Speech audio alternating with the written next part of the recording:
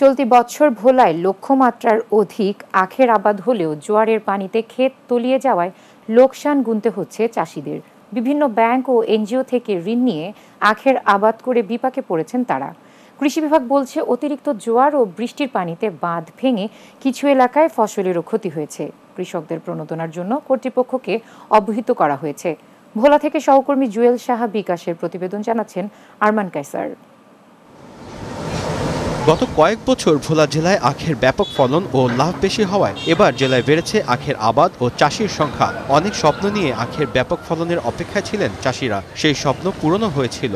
কিন্তু কাটার প্রস্তুতি নেয়ার সময় হঠাৎ বৃষ্টি ও অতি জোয়ারে পানিতে তলিয়ে যায় আখের ক্ষেত আর শেষ হয়ে যায় চাষিদের স্বপ্ন। এখন আখ চাষ করে লাভের চেয়ে লোকসান গুনতে হচ্ছে তাদের। দুই একর জমিনে আখ লাগাইছিলাম এবার। বড় আশা বসা করিয়া। এখন আমার ষাট হাজার টাকা লোকসান হয়েছে নদীর পানিতে যে পরিমাণ পানি হয়েছে এতে আমার আগগুলো নষ্ট হয়ে গেছে। বিভিন্ন ব্যাংক ও এনজিও থেকে ঋণ নিয়ে আখের আবাদ করে বিপাকে পড়েছেন তারা। আপনারা কৃষি ব্যাংকের থেকে এক লাখ বিশ হাজার টাকা আখ খেতে খরচ করছি। আমাদেরকে কোনো প্রকার প্রণোদনা না দেয়। তাহলে আমাদেরকে ঋণের বোঝার কারণে বাড়ি ঘর ছেড়ে পালিয়ে যেতে হবে। গত বছরের চেয়ে চলতি বছর আখের আবাদ বেশি হয়েছে জানিয়ে জেলা কৃষি সম্প্রসারণ অধিদপ্তরের উপপরিচালক বলেন জোয়ারের কারণে ক্ষতিগ্রস্ত কৃষকদের প্রণোদনার জন্য কর্তৃপক্ষকে অবহিত করা হয়েছে।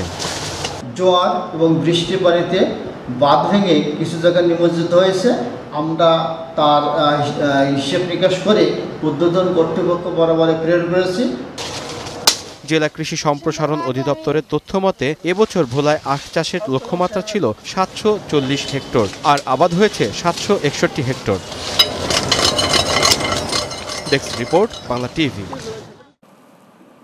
নারায়ণগঞ্জের রূপগঞ্জের তারাবো পৌর এলাকার গাজী ভবনে কায়েতপাড়া ইউনিয়ন আওয়ামী যুবলীগের কমিটি গঠন করা হয়েছে।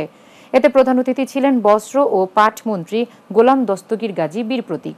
এতে আরও উপস্থিত ছিলেন উপজেলা যুবলীগের সভাপতি কামরুল হাসান তুহিন, সম্পাদক মুস্তাফিজুর রহমান শাহিন ও সাংগঠনিক সম্পাদক মিলন সহ অন্যান্যরা। সকালে রূপগঞ্জের গাজী ভবনে এক সভায় আশিক ইকবালকে সভাপতি ও মুস্তফা রাসেলকে সাধারণ সম্পাদক করে এগারো সদস্যের কায়েতপাড়া ইউনিয়ন যুবলীগের কমিটি ঘোষণা করা হয়।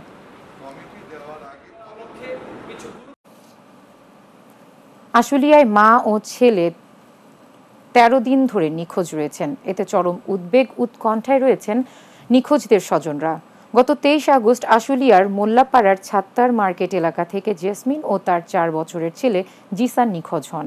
স্বজনরা জানায়, ওই দিন দুপুরে আশুলিয়ার মোল্লাপাড়ার সাত্তার মার্কেট এলাকায় পারিবারিক কাজে যান মা জেসমিন ও তার চার বছরের ছেলে জিসান। এরপর থেকে তাদের আর কোনো খোঁজ খবর পাওয়া যাচ্ছে না। এ ব্যাপারে থানায় সাধারণ ডায়েরি করা হয়েছে। নিখোঁজ ওই নারী ধামরাই থানার ভাড়ালিয়ার বাঙালপাড়া এলাকার বাসিন্দা। পুলিশ বলছে, নিখোঁজ মা ও তার ছেলের সন্ধান পেতে চেষ্টা চালিয়ে যাচ্ছেন তারা।